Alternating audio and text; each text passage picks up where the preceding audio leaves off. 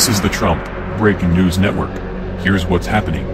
Breaking, Donald Trump just gave surprise speech that will ruin the UN. By Danny Gold.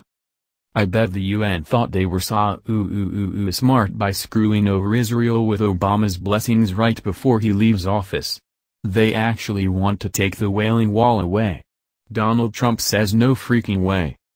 Trump is hanging out at the Mar-a-Lago resort in Florida for the Christmas break but still decided to take the time and address the nation and let them know exactly what he thinks of the UN. They have failed their potential and only screw stuff up. Bingo. There is nothing wrong with the idea of unity in the world. Hell, stuff is way better when we all work together, but that does not mean we have to get screwed. He told the reporters. When do you see the United Nations solving problems? They don't. They cause problems. So if IT lives up to the potential IT's a great thing. And if IT doesn't IT's a waste of time and money. Donald Trump also said he did talk to Obama earlier, but would not say exactly about what. However, from the look of the video, he was not happy with Obama abandoning Israel.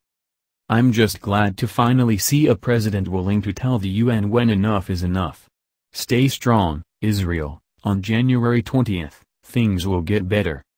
Share this with all your friends to spread hope. The video link for the video is in the article below in our description. This has been the Trump Breaking News Network. Please subscribe and share to stay up to date on the latest news about our president. Be informed.